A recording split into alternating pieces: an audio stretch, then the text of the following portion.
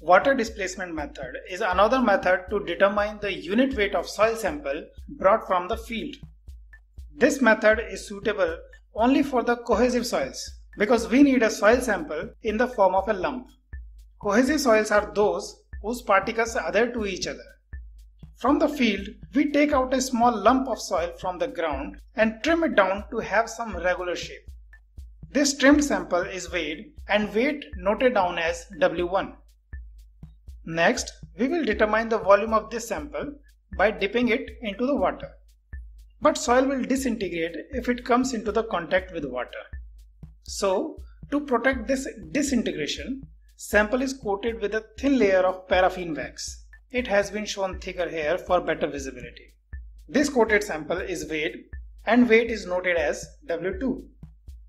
Now we have weight of sample W1, a weight of sample plus wax W2. Hence, weight of wax would be the W2 minus W1. Here volume of wax can be determined by unit weight formula, which is W2 minus W1 divided by unit weight of wax. This is the volume of wax used to cover the soil sample. Next, we take a container with overflow management attached to it. Overflow management means if we keep on filling this container with some liquid even after reaching its full capacity, the extra liquid should not just spill over, but with a proper management, it should get collected. Now fill this container up to the brim with water. Gradually lower the coated sample into it. Because of it, water level will rise and overflow water will be collected into a measuring jar. Let's say measured volume is VW. This is the volume of water displaced by a coated soil sample. Now as we know that volume of displaced liquid is equal to the volume of object which displaced it. Hence, volume of collected water is equal to the volume of coated sample.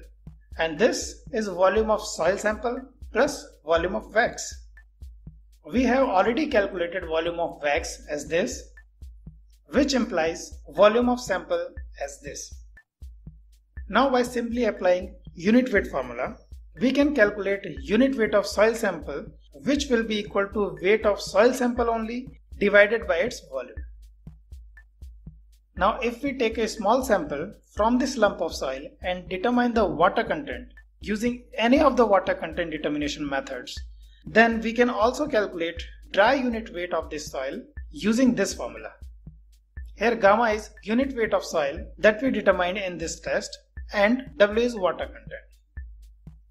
Thank you.